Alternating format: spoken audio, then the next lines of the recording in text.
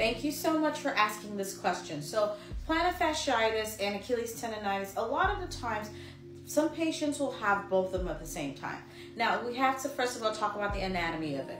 So, plantar fascia is a thick band of ligament that attaches from the heel bone all the way to the toes, while the Achilles tendon is a thick band of tissue that attaches from the uh, muscles up there, you know, in your calf muscles all the way to the heel.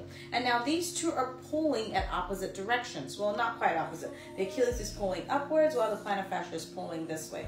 Now, sometimes patients will have pain first thing in the morning, where it's really, really hurting. That's usually more plantar fasciitis.